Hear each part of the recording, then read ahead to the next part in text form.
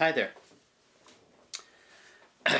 One of the topics I was asked to speak about was image stabilization, uh, whether it should be in the lens or in the camera body. Now, I don't have uh, much experience at all with stabilized lenses. But let me give you a little history lesson here. Back in the days of film, there was no way to stabilize the sensor because the sensor was a roll of film. Moving an entire roll of film around in order to stabilize an image was simply not practical. Uh, it might have been possible if you had a big enough camera with a complex enough system in it, but really not a practical way of stabilizing.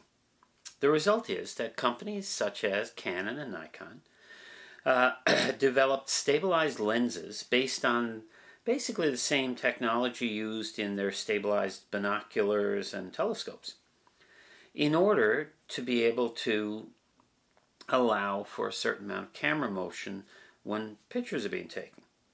The result, stabilized lenses. Now,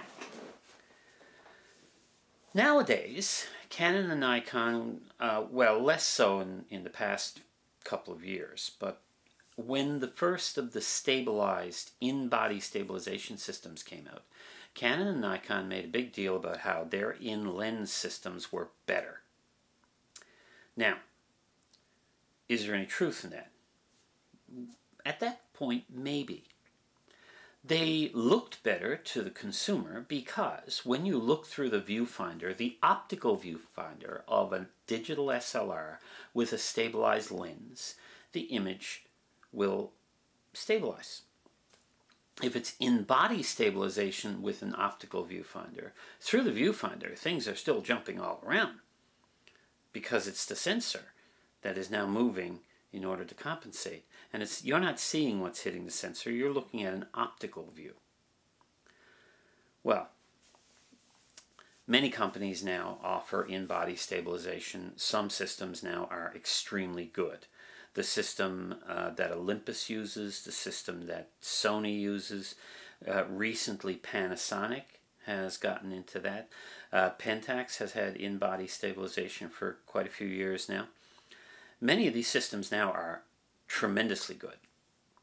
And some of them are now piggybacking the two systems. They're actually adding uh, image stabilization to some of their lenses that will work with the uh, stabilization in the camera body. So, which is better? On its own, by itself, it seems that in modern cameras, in-body stabilization has finally caught up to and possibly surpassed in-lens stabilization. If you look at reports on, on uh, the modern Olympus cameras, uh, you'll find people making claims of extremely low shutter speeds handheld. And these aren't hollow claims, these are real. So, in body stabilization seems to have caught up and surpassed in lens stabilization. So, why aren't Nikon and Canon jumping on this? Because they have invested many, many years and huge amounts of money into stabilized lenses they can't just drop this and move on now. So the result is they're they're kind of sitting back and uh, hoping no one notices. Now, I, am not in any way trying to degrade Nikon and Canon. I mean, they make some of the best cameras out there. Professional equipment uh, are you know second to none. I'm merely pointing out the fact that uh, when you are looking at these systems now, in-body systems work. Uh, Olympus has just introduced two lenses that have uh, in-lens optical stabilization, which is new for Olympus. Why did they do that? Well, one of them is a 300 millimeter lens, which of course will act as, give you the field of view of a 600 millimeter lens, which means that it is very prone to camera shake. By adding a second level of stabilization in the lens and the camera body. They have produced an amazing system that works tremendously well. Panasonic is doing the same thing. They're using their stabilized lenses with in-body stabilization now in many of their cameras to result is in uh, a better system than either was by itself.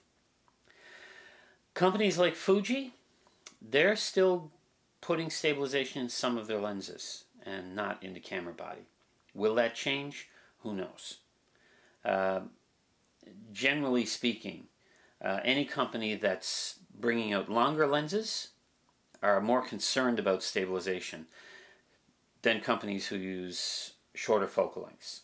Leica, for instance, is not likely to get into stabilization because basically, if you have a Leica M, your range of focal lengths is from ultra wide up to maybe 135 millimeters and hardly anything beyond that.